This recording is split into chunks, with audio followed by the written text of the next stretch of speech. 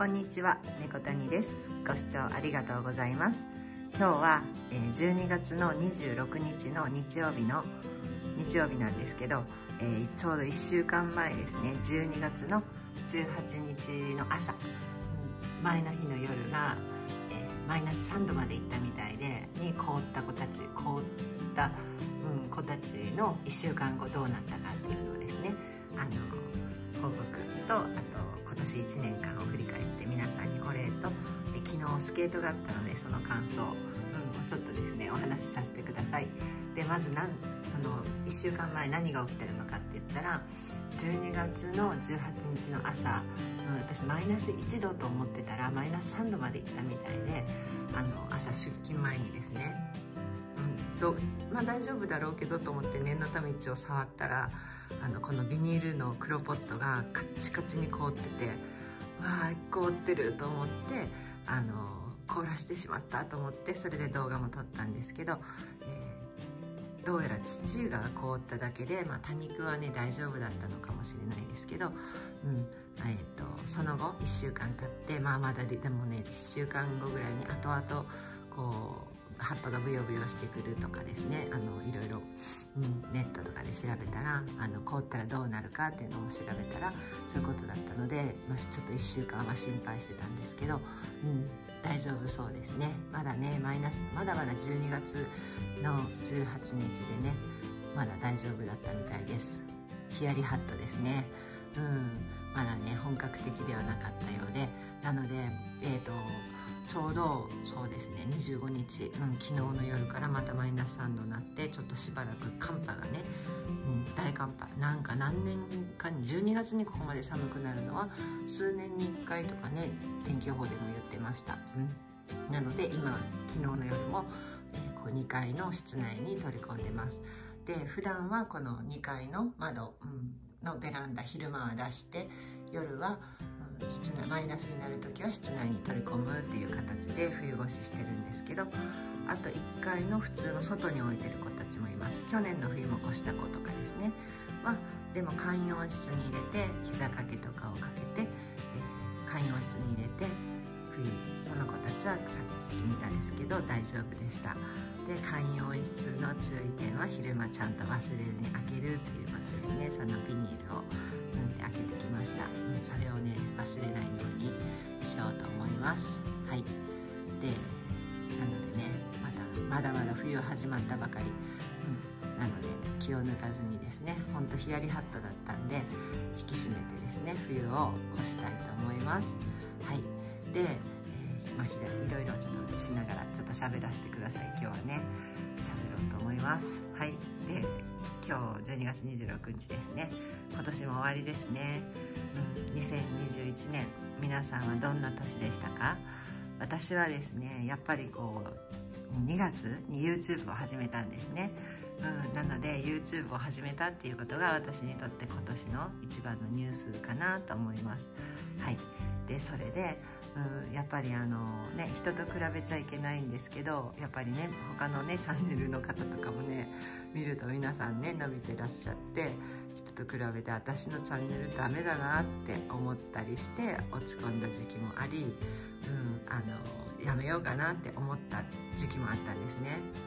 うん、でもね最近すごくね楽しくなりましたそれは、うん、皆さんがねコメントしてくださるのがすごく嬉しくてなんかねコメントがね本当にすごく嬉しくて、うん、本当ありがとうございます。でその反省点またね YouTube の 1, 周年記念の動画でね詳しく喋ろうと思うんですけど、うん、やっぱりねその落ち込んだ時期はやっぱり YouTube を始めて、まあ、目的何のためにやってるかっていうのを見失って、えー、まあまあ、視覚障害ありながらもこうやってガーデニングを楽しんでるところあついつい喋ってしまう。あのを発信しそして視覚障害者についての理解を深めてほしい知ってほしいっていう思いもあり、まあ、やってたんですけどなんかね再生回数を伸ばすとかチャンネル登録者さんを増やすとかいうことが目的になってた時期があったんですよ。うん、したらなんかね辛かったですその時。でもう何のためにやってるのか人と比べないっていうことで見直して、うん、でやっぱりね今見てくださってる方が喜んでくださる動画を撮る、うん、とかね。でそれでやっぱりコメントが一番やっぱり嬉しいなって思うようになってそしてコメントくださってる方と、うん、なんか交流というか、話するだけなんですけどねコメント欄で。うん、それがね最近すごく本当に嬉しいし動画を撮る励みとか勇気になってます。本当に。なので見てくださってる方コメントしてくださる方本当に本当にありがとうございます。今年とってもいい年となりました。はい、うん、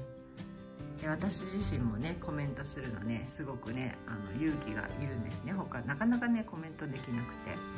だからねほんとコメントしてくださってる方は何て言うかな、うん、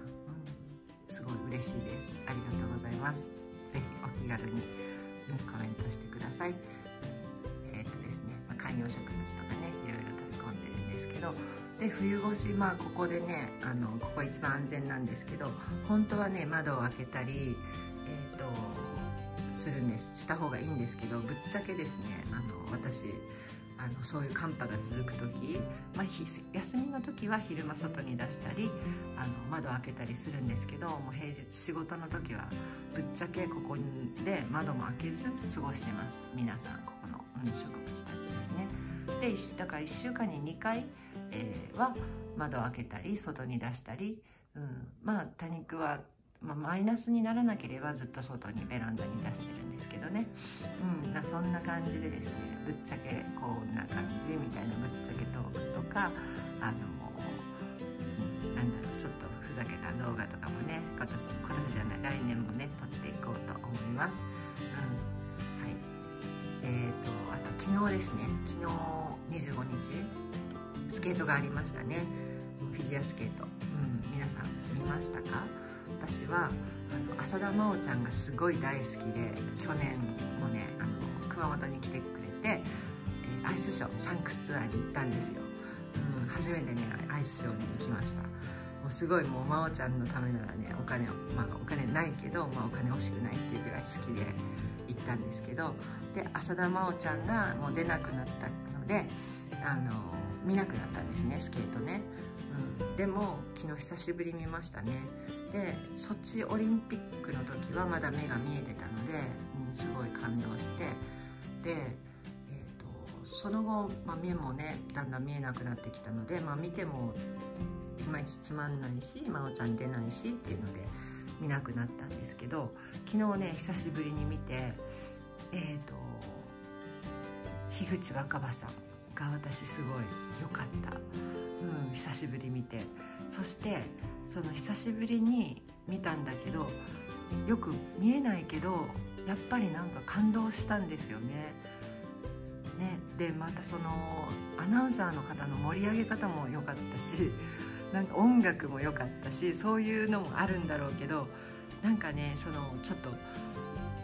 なんだろう見えないけど演技はよくぼんやりとしか見えないけど画面を通じて伝わってくる